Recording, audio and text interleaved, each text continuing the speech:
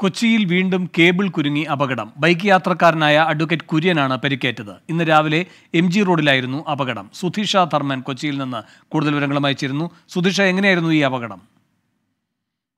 വേണു ഇന്ന് രാവിലെ M G റോഡിൽ ഷെണായിന്റെ ഒക്കെ സമീപത്തായിട്ടാണ് ഈ ഒരു സംഭവം നടക്കുന്നത്.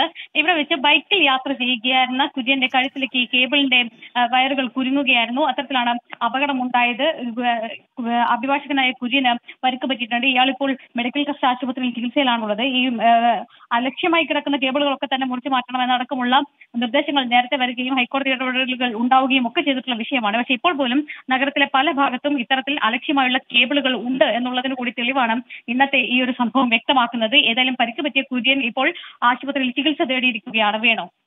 കൊച്ചിയിൽ വീണ്ടും കേബിൾ കുരുങ്ങിയ അപകടം. വിശദാംശങ്ങൾ നൽകുകയായിരുന്നു സുധീഷ ധർമ്മൻ.